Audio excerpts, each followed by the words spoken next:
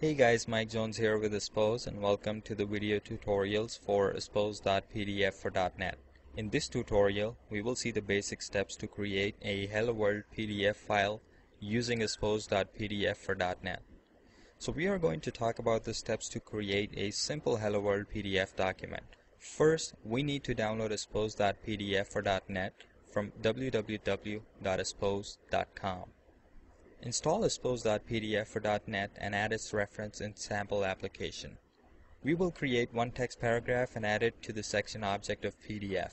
In order to remove the watermark, we will add a reference to the license file. So first, open the Aspose website and select the download option from the support menu.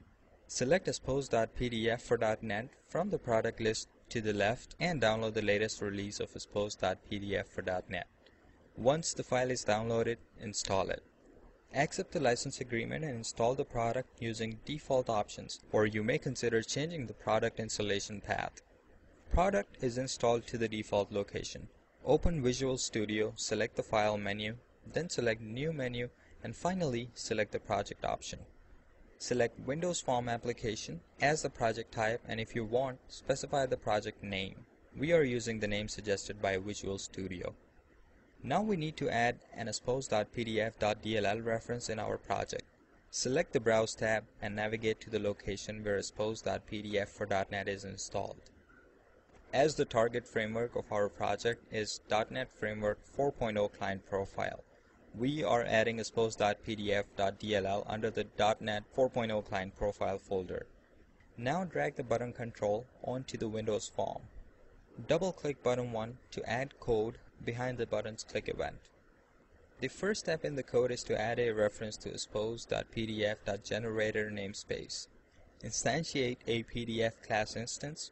Now create a section object and add it to the collection of PDF instance. Create a text paragraph with Hello World as a sample string. Add the text paragraph to a collection of the section object. Now save the PDF document. Start debugging the code. Press button 1 to execute the PDF generation code. PDF file is generated. Open the PDF file to view its contents. Because we are using aspose.pdf for .NET in trial mode, an evaluation watermark is displayed. Check PDF properties to see the PDF producer information. Now let's try using the license file in our code.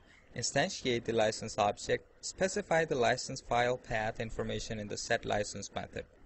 Make sure that the path and file name information is correct. Start debugging the code. Press button 1 to execute the PDF generation code. Open the PDF and notice that the watermark has been removed. Delete the PDF as we are going to make some changes in the code. Now let's add the license file to the project. Right-click the license file and select Properties. Specify the build action as embedded resource. Remove path information from the setLicense method.